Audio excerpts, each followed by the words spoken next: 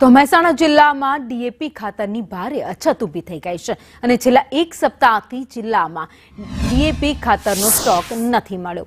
એક તરફ એરંડા જેવા ઊભા પાકમાં ડીએપી ખાતરની તાતી જરૂરિયાત છે અને ડીએપી ખાતર મળતું નથી. આ સાથે જ રવિ સિઝન શરૂ થવાની સાથે જ ઘઉં અને રાઈના પાકમાં પણ ડીએપી ખાતરની ખેડૂતોને જરૂર પડે છે. ત્યારે મહેસાણા જિલ્લા સહકારી ખરીદ વેચાણ સંઘ હોય કે પછી જિલ્લાના અન્ય તાલુકાના સંઘ, ક્યાંય ડીએપી ખાતરનો સ્ટોક ઉપલબ્ધ નથી. ડીએપી ખાતરની કિંમત તેરસો પચાસ રૂપિયા છે તો બીજી તરફ તેના બદલામાં વાપરી શકાય એવું ખાતર એનપીકેનો ભાવ ચૌદસો સિત્તેર થઈ ગયો છે.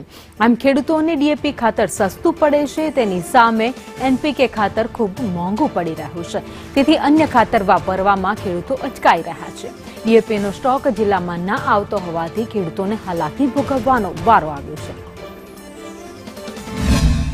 ભારત કઈ એનપીકે ઉપર જવા ઉપર છે અને ડીએપીમાં હાલ કોઈ માલની આવકમાં નથી.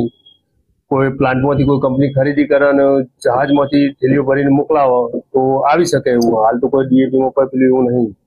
ત્યારે મતલબ કે એની જગ્યાએ હાલ એનપીકે વાપરવાનું. સરકારનો ફોર્સ વધારે એમ નાઇટ્રોજન, ફોસ્ફરસ, પોટાશ વાળો ખાતર વાપરો. તથા ઇફકો નેનો ડીએપી બનાવેલું છે ઇફકોનું નેનો યુરિયા બનાવેલું છે એટલે ઓર્ગેનિક ખેતી ઉપર જવાનું સરકારનું વધારે પ્રોત્સાહન કરવામાં આવે છે.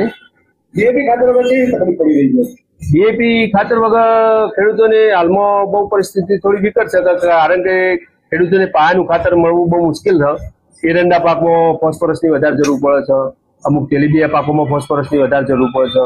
એના કારણે હાલ ડીએપી ની શોર્ટેજ ઊભી થઈ છે. એટલે મહેસાણા જિલ્લામાં હાલ કોઈ જગ્યાએ ડીએપી નથી, પણ એના જગ્યાએ કદાચ નર્મદા પોસ આવી શકે, એનપીકે આવી શકે, કોઈ કંપની મોકલાવો તો આ દિવાળી પછી આવવાની ગણતરી ખરી.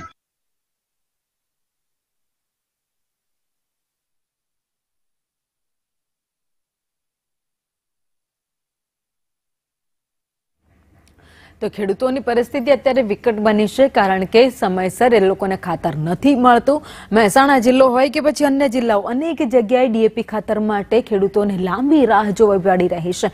કેટલીક વાર તો સવારથી લાઈનો લગાવીને ખેડૂતો ઊભા રહે છે, પરંતુ અંતે કહેવામાં આવે છે કે ખાતરનો સ્ટોક નથી.